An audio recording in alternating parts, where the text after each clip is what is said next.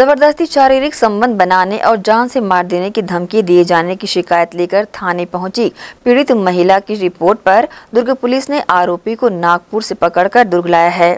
बढ़ते महिला संबंधित गंभीर अपराधों पर अंकुश लगाने, लगातार त्वरित कार्रवाई करते हुए दुर्ग पुलिस ने एक बार फिर पीड़ित महिला की शिकायत पर गंभीरता दिखाते हुए पीड़िता के लिखित आवेदन पेश कर रिपोर्ट दर्ज के आधार पर आरोपी करण साहू द्वारा ज़बरदस्ती शारीरिक संबंध बनाए और जान से मारने की धमकी दिए जाने से परेशान पीड़िता द्वारा शिकायत पर नागपुर महाराष्ट्र से मोहन नगर पुलिस टीम द्वारा आरोपी को हिरासत में लेकर थाना मोहन नगर जिला दुर्ग लाया गया।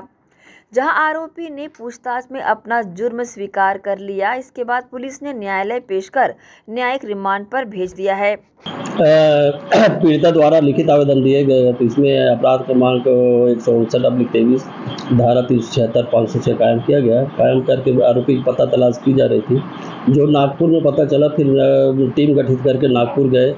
नागपुर से आरोपी करण साहू को पकड़ कर लाए और गिरफ़्तार कर कोर्ट न्यायालय पेश किया जा रहा है। ग्रैंड न्यूज़ के लिए दुर्गा से नसीम फारूकी की रिपोर्ट।